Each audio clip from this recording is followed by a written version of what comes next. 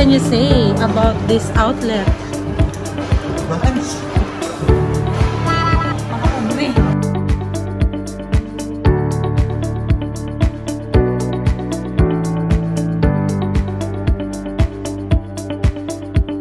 Hi guys! So this is Jane again and welcome back, welcome back to my vlog. Um, ako i-unbox karon ang mga purchases namin from Mitsui Outlet. So, mga around 70 to 80% ang discount na, na nakuha namin sa Nike.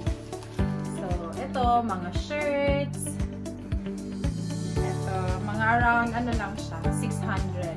So, 500. This is our steel uh, SB, Nike SB Janoski. Dalawa.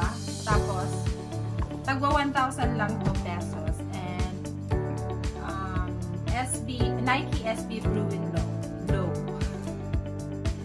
So cute. And mga pang workout. Mura lang din. Mga around 500 to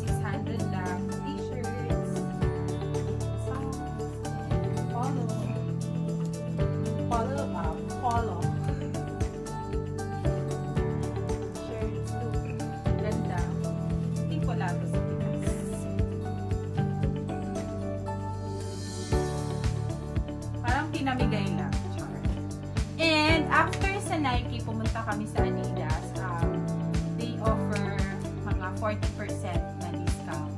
Pero yung 40% na discount na binigay nila, sa discounted price na yun. So, bali discounted price, another ano discount na 40%. So, ito naman yung nabili natin. Guys, hindi to sa akin lahat. Of course, grupo kami, so binili namin. And here, sa Adidas, around 1,200 lang. Adidas, Adi, Adi Daily 2.0. So, here, para siyang samba. 1,2 lang yan. And also, we have here, what happened to the, we have, and also, Advan Port Leia, um, twinning ko. Twinning kami ni Baba nito. This is around 1.5. 1.5 lang. So nice. Okay. Detail. Ganda. Parang gum lang siya.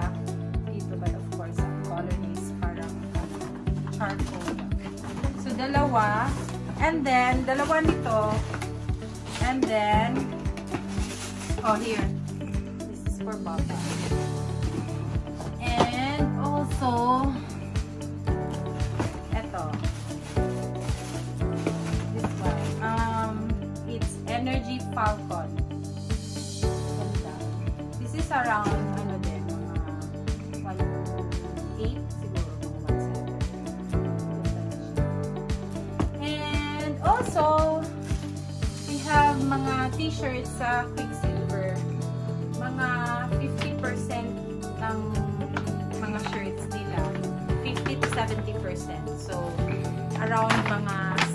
600 plus. Hindi ko na lang isa-isahin, guys. But, so nice. Mahal to sa atin. See? Isa-isahin. So, pag pumunta kayo dito sa Japan, um, try to visit uh, Mitsui outlet. Maganda. And hindi lang siya Nike ang nandun, hindi lang Adidas. Meron ding mga New Balance, Vans. Basta marami. Ah, parang maliit na mall lang siya. And sobrang mura talaga. You can buy this. And tiningnan namin to sa ano, sa Dotonbori um, at ABC Mart. Um, mga, if nabili namin siya ng around 1.5, ang benta nila doon is around 5,000 to 6,000. So, that's it guys. Um, pinakita ko lang yung mga haul namin sa Japan.